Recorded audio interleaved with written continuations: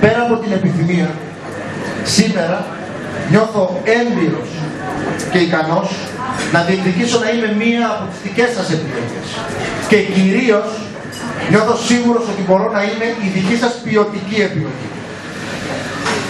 Φίλες και φίλοι, ζούμε σε μια εποχή πάρα πολύ δύσκολη. Δύσκολη μέσα και έξω από τη χώρα. Και βεβαίως για αυτή τη δύσκολη κατάσταση δεν ευθύνεται μόνο δεν ευθύνεται μόνο η κακή συγκυρία ή κάποιος ανάδρομος εμείς. Η κυβέρνηση ΣΥΡΙΖΑ ΑΝΕΛ, η κυβέρνηση των τριών τελευταίων ετών, έχει σοβαρές ευθύνες για την κατάσταση που περνάμε σήμερα.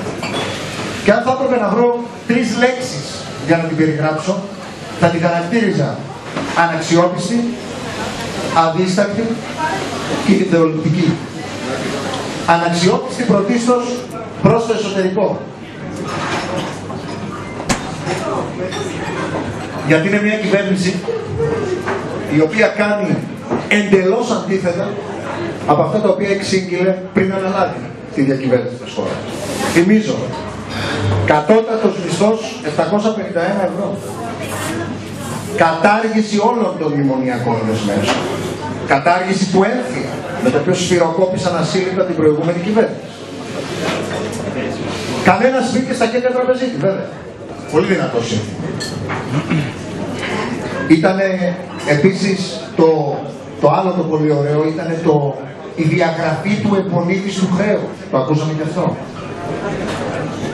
Όλα αυτά είναι λίγα μόνο από αυτά που εξήγηλαν πριν καταλάβουν τη διακυβέρνηση της χώρας.